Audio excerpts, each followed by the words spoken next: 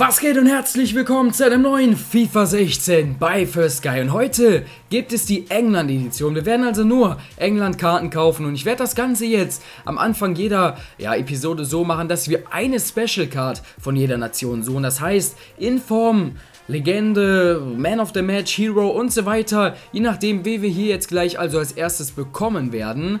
Und ähm, ja, da bin ich sehr gespannt drauf. So hat man immer eine richtig, richtig, richtig, richtig kranke Karte im Team. Ich denke mal, so ist das Ganze einfach richtig spannend und so sieht das Team natürlich auch mal viel, viel besser aus. Bald geht dann natürlich auch wieder bei First Inform oder bei First Special Card los. Wir müssen natürlich noch ein bisschen warten. Es müssen jetzt einfach noch ein paar Informs und natürlich auch noch ein paar Special Karten rauskommen. Aber das wird schon bald starten, keine Sorge. Und ja, ich würde sagen, wir suchen die erste englische Karte. Los geht's und es wird Owen.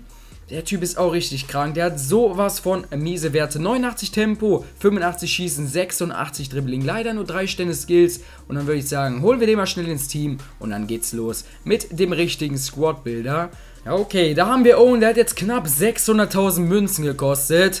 Aber ich hoffe mal, das ist ja auf jeden Fall wert, denn... Ja, der muss einfach geil sein. Ihr habt es ja selber gesehen, die Werte von dem sind absolut krank. Und wir wählen jetzt mal hier kurz eine andere Formation. Ich würde sagen, wir nehmen mal wieder die 4-4-2. Die ist, glaube ich, auch ganz nice. Da packen wir direkt hier Owen vorne rein. Und ja, das ist einfach schon mal richtig kranker Start. Dann würde ich sagen, machen wir erstmal weiter mit dem Torhüter. Und da wählen wir natürlich auch wieder die englische Karte los. 3, 2, 1, los geht's. Wir nehmen natürlich wieder nur die erste seltene Goldkarte. Und es wird Joe Hart. Hier hinten wäre es fast Seaman gewesen. So, Joe Hart kommt ins Team und den habe ich ja letztens sogar noch in einem Pack-Opening gezogen. Das heißt, ich hätte den mal besser behalten. Aber okay, kann man natürlich nichts machen. Falls ihr natürlich auch noch irgendwie Pack-Openings bei First Guys oder ja, irgendwas anderes machen wollt. Und natürlich noch irgendwie FIFA-Coins, FIFA-Points, ja, PSN-Card, Xbox Live und so weiter. Falls ihr das irgendwie benötigt, das eh kaufen wollt oder so, würde ich mich natürlich freuen, wenn ihr das über meinen Link in der Videobeschreibung macht. Damit unterstützt ihr natürlich mich, euch. Ja, kostet das Ganze natürlich nicht mehr. Da könnt ihr gerne dann mal, wie gesagt, MMOGA, mein Sponsor, abchecken. Wir suchen die nächste Karte, es wird Smalling. Der Typ ist dieses Jahr auch richtig krank. Hier wäre es fast Kale geworden. Alter, der ist ja auch richtig teuer. Aber es wird Smalling. Okay, Smalling kommt also auch ins Team.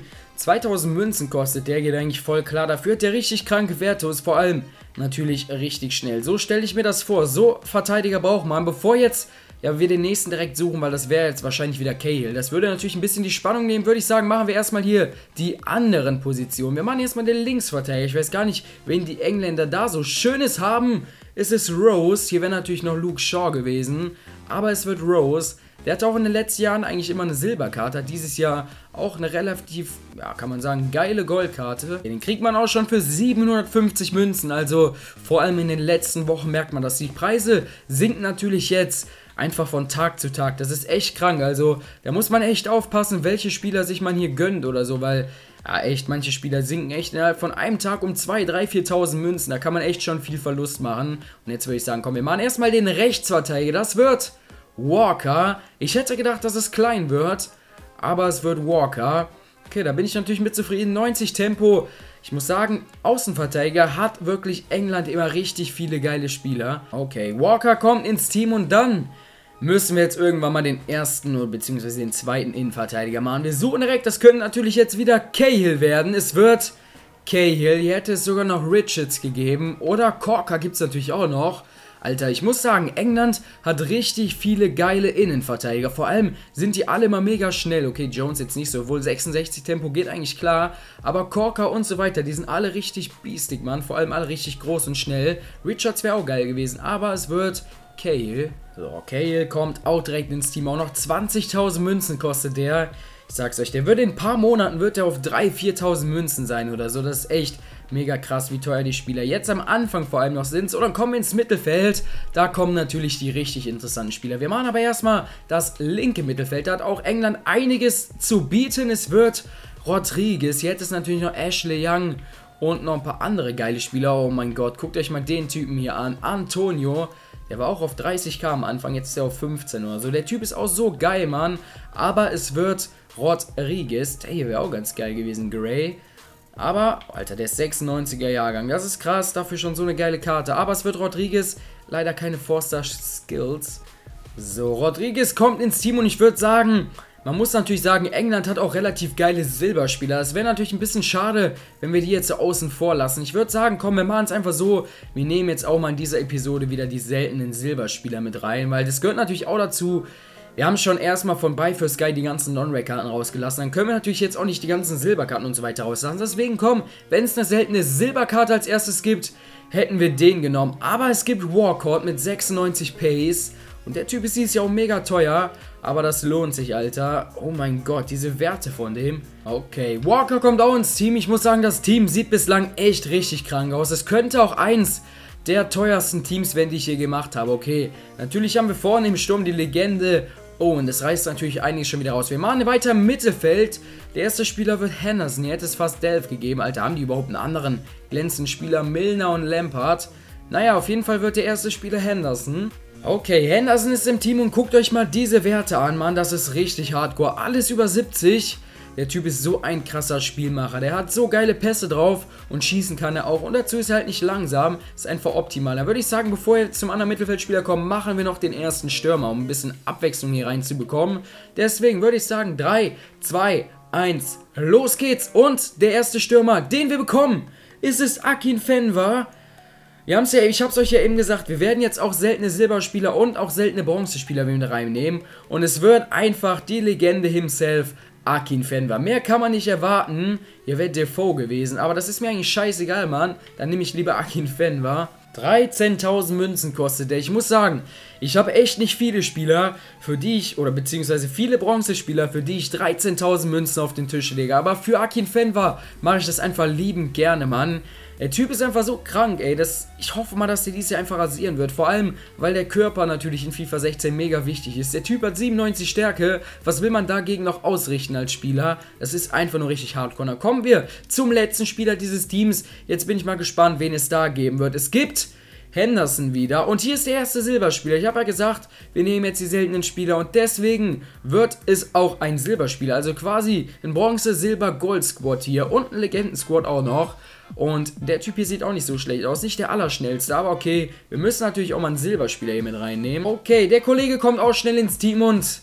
Ja, ich hoffe mal, damit hat es für euch wieder ein bisschen besser gefallen. Ob wir, ja, ihr könnt es mir auch gerne wieder in die Kommentare schreiben, ob wir die ganzen Silberspieler und natürlich auch seltenen Bronzekarten wieder mit reinnehmen sollen. Ich werde es so machen, dass ich bei wirklich ja, ich sag mal, schwächeren Nationen, wo es nicht ganz so viele, vor allem nicht gute Silberspieler gibt oder so, da werde ich dann vielleicht das ganze Team aus Goldspielern oder so machen, aber ich denke mal, so ist das Ganze schon richtig gut. Hier bei dem Spieler, bevor es jetzt einige schreiben, hier im linken Mittelfeld, da hatten wir ja sogar Antonio vorher oder vielleicht davor, nee, es war sogar irgendwie Gary oder so hieß der, dieser im linken Mittelfeld, dieser 96er, das wir eben angesprochen hatten, also 96er Jahrgang, äh, der war ja eigentlich auch hier vor Jay Rodriguez, aber da hatte ich das Ganze noch nicht gesagt, ich habe das Ganze erst danach geändert, mit den Silberspielern und Bronzespielern. Und ähm, ja, ich denke mal, ihr wisst, was gemeint ist. Ich denke mal, mit diesem Team können wir ein Spiel starten. Los geht's. Okay, und dazu gibt es sogar noch das Finale hier im Goldpokal. Wir haben das Ganze jetzt nur mit Buy for Sky Partien hier. Habe ich mich hier ins äh, Finale gespielt. Also ihr könnt euch das gerne nochmal, falls ihr die ganzen Spiele sehen wollt, die letzten ja, drei Buy for Sky angucken. Da gibt es halt immer eins dieser Spiele. Und heute gibt es also das Finale mit diesem Team. Und mir ist mir eben aufgefallen, ich habe keinen einzigen Forster-Skiller dabei. Aber ihr wisst es ja selber, ich bin eh nicht der beste Skiller. Von daher ist das jetzt nicht ganz so notwendig. Ich hoffe einfach, dass wir das Finale gewinnen. Dann gibt es sogar noch so ein kleines Gold-Pack. Okay, das ist auch schon unser Finalgegner. Und so sieht sein Team aus. Er hat auch ein komplettes BPL-Team und Leihspieler Aguero da vorne im Sturm. Das Team sieht gar nicht so schlecht aus, aber was mit seiner Innenverteidigung los? Er hat Hut da vorne drin, da vorne, da hinten drin. Ist jetzt nicht der allerschnellste. Und Bason, glaube ich. Sein Torwart ist jetzt auch nicht der stärkste. Es könnte auf jeden Fall ein Ding sein, dass wir hier gewinnen könnten. Wir haben natürlich auch richtig kranke Spieler. Eigentlich vom Team her müssen wir das Ding gewinnen hier. Jawohl, komm, jetzt können wir kontern. Akin, Fenwa und Owen. Ich muss diesmal, glaube ich, irgendwie alleine machen. Jetzt komm, es war kein Abseits. Komm, es war doch kein Abseits, mach ihn! 1 zu 0, Akin Fan war, so muss das sein. War es Abseits? Es war doch Abseits. Alter, wie spät hat der Ref jetzt gepfiffen, Mann? Akin Fenwa ist nicht der Allerschnellste, hat nicht die allerbeste Ausdauer. Und dann lässt er den noch so lange laufen, Mann. Wieder. Der kriegt den wieder. Komm, der kann. Mit links, glaube ich, gar nichts. Oh, Akin Fenwa mit links. Haut er den an die Latte, Mann. Der hat nur zwei Stände Schwachfuß. Oder ist der Linksfuß? Ich habe keine Ahnung. Ich hoffe mal nicht, Mann. Ich schieße die ganze Zeit mit dem falschen Fuß. Oh, das hat er, oh, das hat er richtig gut gemacht. 1 zu 0 für den Gegner. Ich glaube, Fernandinho war es mit dem Tor, aber das hat er wirklich. Respekt an den Gegner, das hat er richtig gut rausgespielt. Aber wir machen das einfach blöd, dass wir hier immer noch nicht führen, ist echt schwach, weil wir haben... Okay, wir versuchen jetzt was ganz Spezielles. Wir versuchen den Ball jetzt hier abzulegen auf Rose und der haut jetzt mal einen Schuss raus, aber sein Tor war, der hält den natürlich, der war natürlich nicht ganz gut platziert. Und jetzt muss es Henderson machen. Komm, Henderson. Digga, ist das dein Ernst? Was ist das für ein Schuss, ey? Henderson, dafür habe ich dich nicht gekauft, Mann, damit du so einen Schuss rausknüppelst hier. Voll ins Nix, Alter. Da war gar nichts.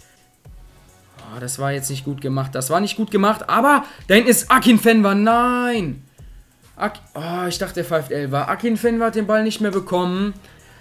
Und unser Gegner gewinnt hier sogar noch den Pokal. Es war wirklich ein spannendes Spiel gegen Ende noch. Wir hätten echt einige Tore verdient gehabt. Wir hatten auch die Möglichkeiten zu einigen Toren. Aber er war einfach... Er hat einfach diesen einen Moment gehabt, wo er das Ding reingemacht hat. Egal, ich hoffe, es hat euch trotzdem gefallen. Und Owen hat sich sogar noch verletzt, Mann.